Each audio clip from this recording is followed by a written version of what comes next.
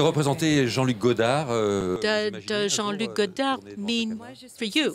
Uh, is I am. It is such an honor for me to be in this film and have this opportunity to work with him.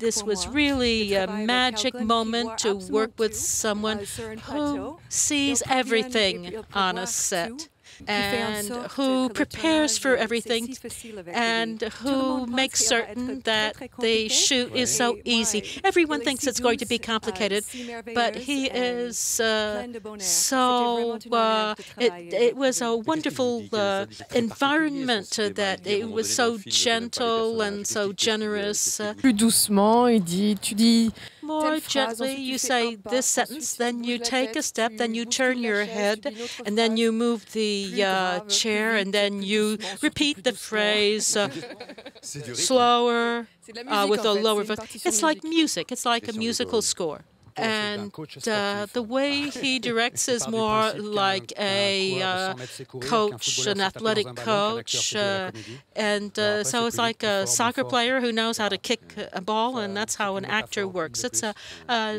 yet another metaphor. Do you ask him questions when you don't understand? Did you dare?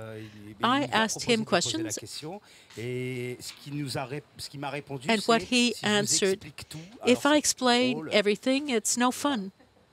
Alors qu'il me proposait de lui he said, if you don't understand, ask me. And when I asked him, he said, I'm not going to answer. I can't explain everything. That's the same thing for the viewers.